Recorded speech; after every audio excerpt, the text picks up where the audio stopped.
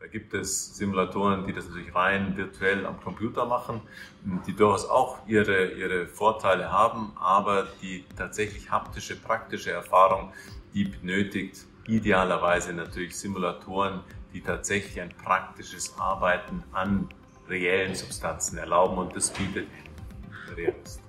Ja, das ist äh, grundsätzlich muss man sagen, dass, dass das absolut Sinn macht, das einzusetzen, gerade in kleinen Kursen ähm, für Assistenten, für Assistentinnen.